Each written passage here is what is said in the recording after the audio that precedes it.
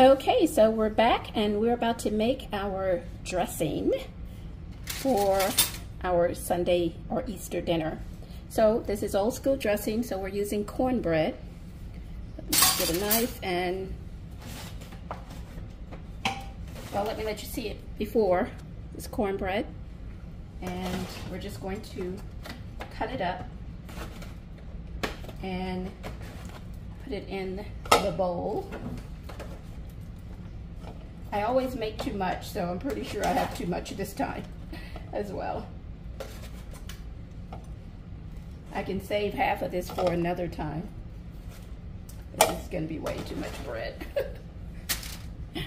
okay, so then you just break up your bread. Normally you can do this with your hand or if you're wearing gloves, but I don't. Uh, this is really hot, so we're not going to be trying that. So we're just going to break up our bread. Of course, for the dressing, we have our additional greenery. We've cooked it in the cornbread, and then we have extra here. We have our uh, oil. You can use butter or margarine. You know, I don't eat butter. A little salt here. Of course, black pepper, accent, and the rubbed sage.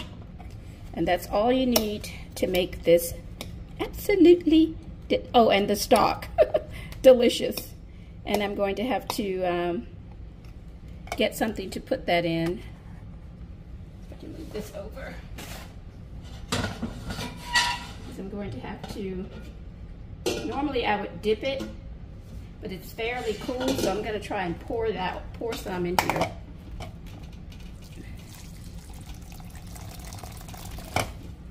Um, if your pot isn't hot, I mean, isn't cool, don't try that.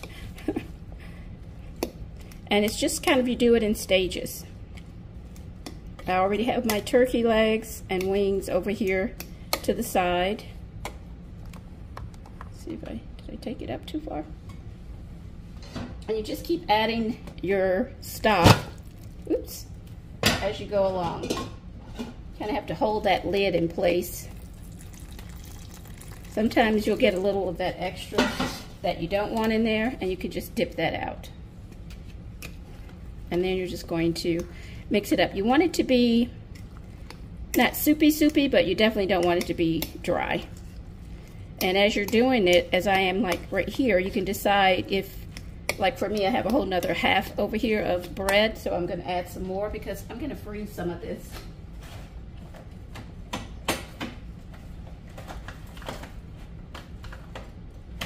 bread is really hot.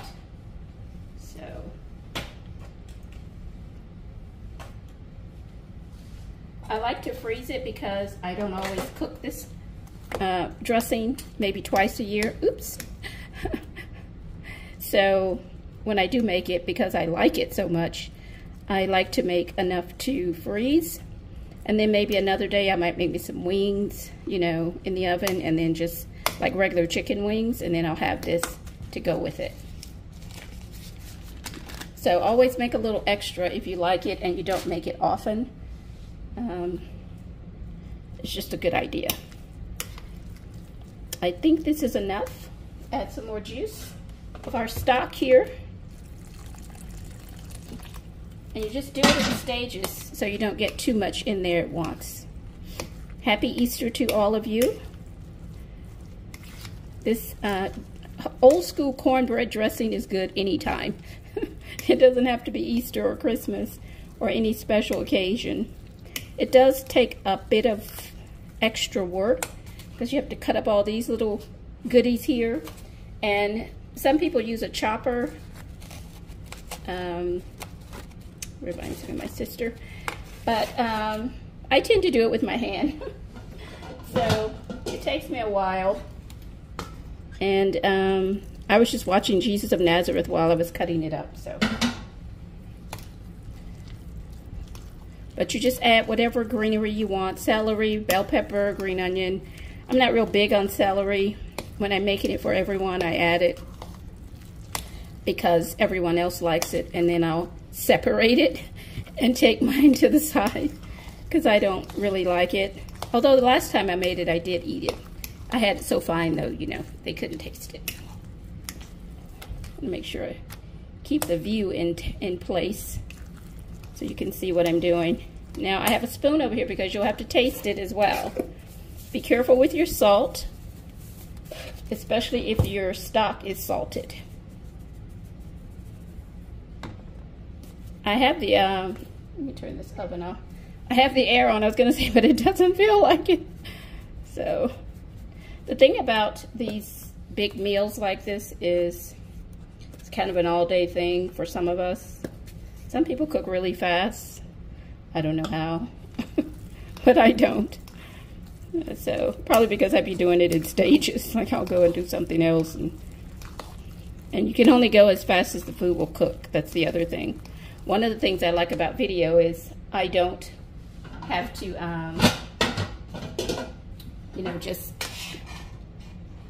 be on the whole time because you get to break away and come back and then record either by additional whatever or making a whole nother video or continuing depending on. Now you always want to use a fork so it doesn't get that kind of um,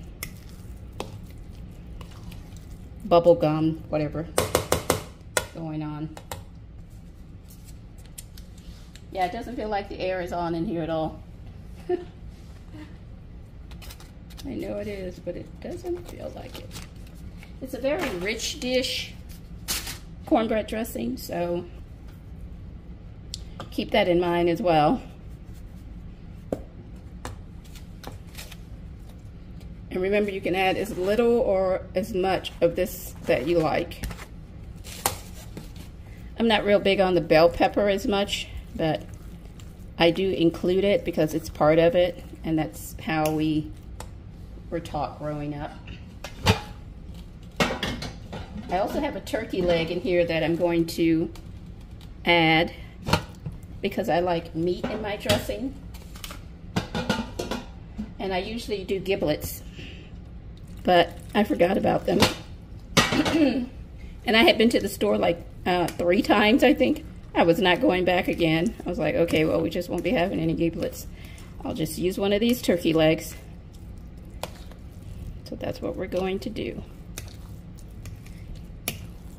Now we're going to get ready and taste this because you don't want to get too far into it without tasting it. And then you'll know, you know, where you are.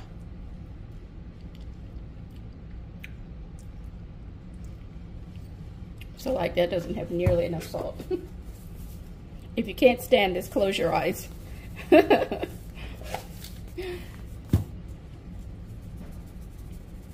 Some people don't like, uh, they like their food kind of bland. I'm not one of those people. This is a rich, like I say, a rich dish, and it's heavily seasoned. But man, is it delicious.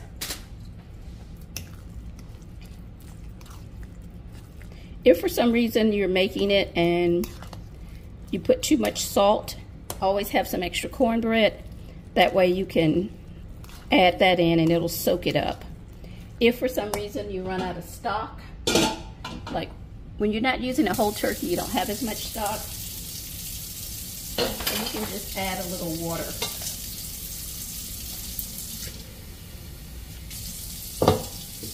But add it before it gets too low. Because once it's too low, you won't get any uh, of the flavor.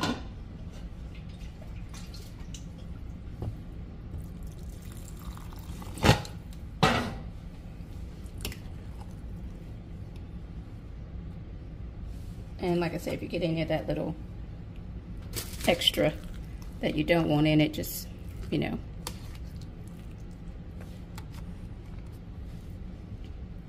trying to make sure you can see. I think we have enough liquid now. It's about the way you want it to be. Get it on your finger, just eat it off. I don't know what to tell you.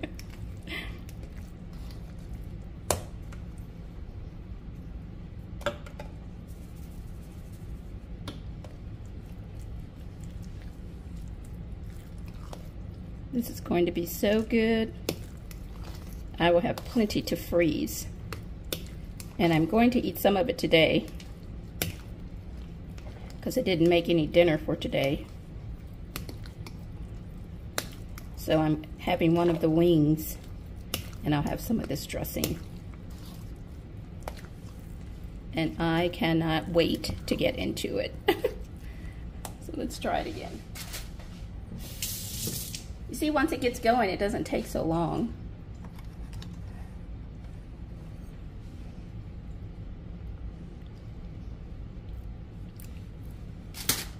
Mmm, man, that's good.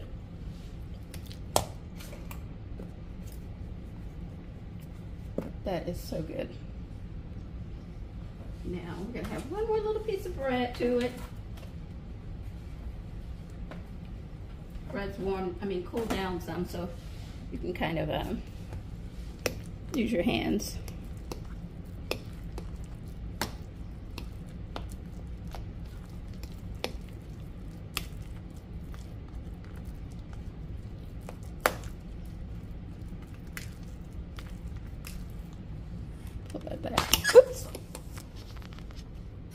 This phone is just like tripping.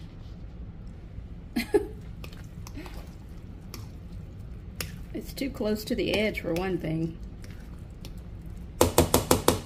We'll put in the rest of this green onion and a little of the bell pepper.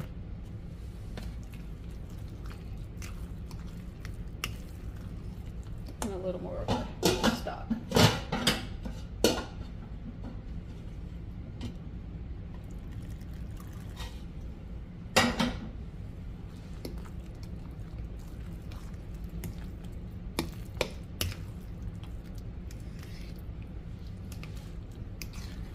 I hope you can see me, what I'm doing. And just use your fork to break up the bread. Especially if you go back and add it like I just did.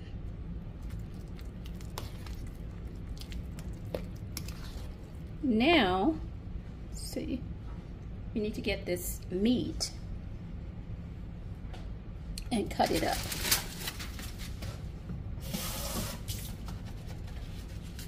So just push this back. See if we can get this turkey leg out of here.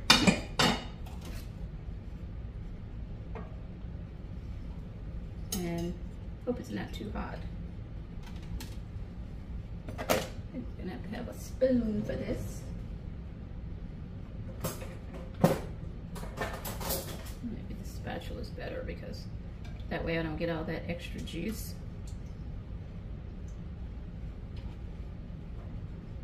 I always leave a little meat also for my gravy. So I'll leave um, little white and dark meat for my, you know, your giblet gravy or whatever kind of gravy you're making.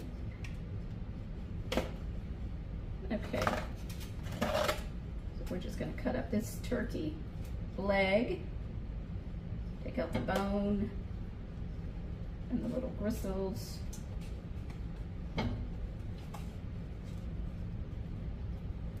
Could have used two legs in here, but we only had three and they're not that big, so we're gonna only put one in here. And I'm just cutting this up to add to the dressing. As you can see, I've cut up the turkey and we're just gonna add that in.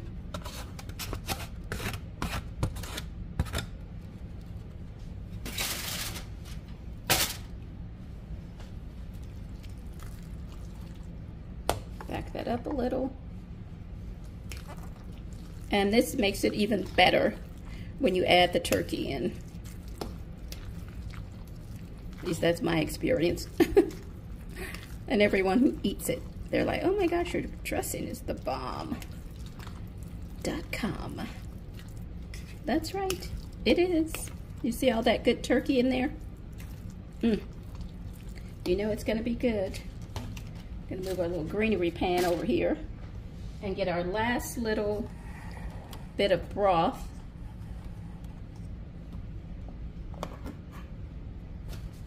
And um, let's clean up some of this. this. We're going to leave some of the broth for our gravy because, as I said, I add the meat, but I also add some of the broth to my gravy. And that just takes it to a whole nother level. Now, can you see what I'm doing? Oh my goodness. This is going to be so good. I already know it. I don't even have to ask you. Look at that deliciousness. Can you see that? Make this, your, your family's gonna be like, oh my God, I didn't know you could get down like that. For real. Just look at all that deliciousness. Occasionally a little stem gets in there, just pull that out. Hope you can see the beauty of this. Look how beautiful that is.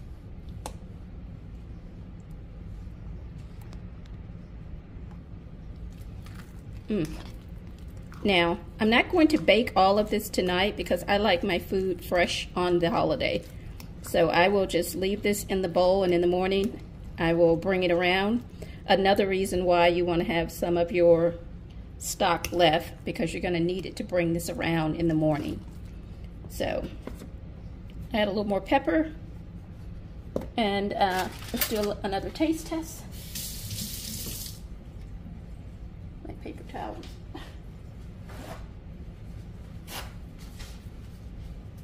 But I already know it's the bomb.com, darling. I already know.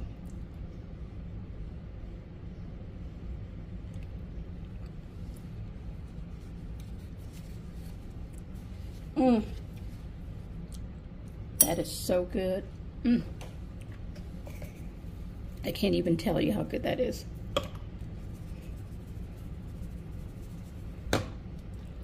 Crazy.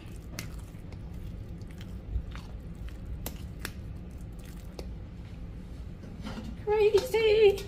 Crazy good. I might go ahead and bake it. And then I won't have to do anything tomorrow.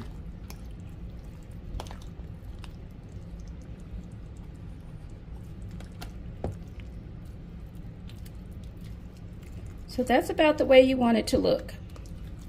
You see it has juice still, but it's not too much juice. And it's barely, good thing we stopped, excuse me, because this bowl wouldn't take anymore. so we got just enough, but we're gonna take some of this out and we are going to make a little sample. Not really a sample because it's just something I'm going to be eating. Um, why do you keep doing taste tests? Because it tastes so daggone good. I just want to eat it. I just want to eat it. That's why.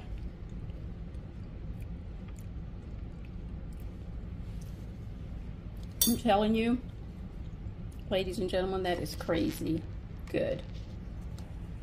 So there you have it. Homemade dressing cornbread dressing, old school.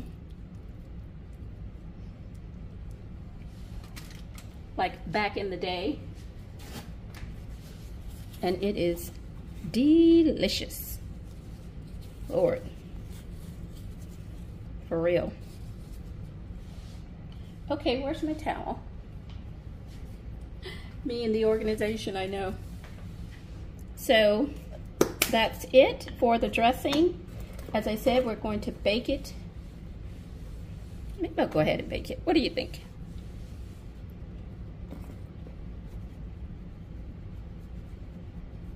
One of the reasons I consider baking it is I have limited space in my refrigerator. It's also one of the reasons I don't bake it. So that's what it looks like. So I can pull that back and you can see it. That's our homemade cornbread dressing. It'll be ready to bake now or tomorrow. I haven't decided which one. And um, I will come back and show it to you whenever I bake it. So happy Easter. make you some cornbread dressing. It is the bomb.com. So good. I can't even tell you. Oh my goodness. Wish you could taste it. Should be like taste-o-vision or smell-o-vision or something. Because this is delicious. And now all we have to do is bake it. Okay, it's me, Sharon, with Finger Licking Dishes. And um, I spilled some over there, so I was trying to hide that. So uh, yeah, we're gonna go now and uh, we will be back with the finished product, which is the baked turkey legs, turkey wings, and the dressing, which I put all together in one pan and bake it together. And then we'll make our plate tomorrow, of course. We're not gonna make the mashed potatoes today. And the sweet potato souffle. So I think I'll just wait and bake all of it tomorrow and then I'll come back and show you. Happy Easter. Bye.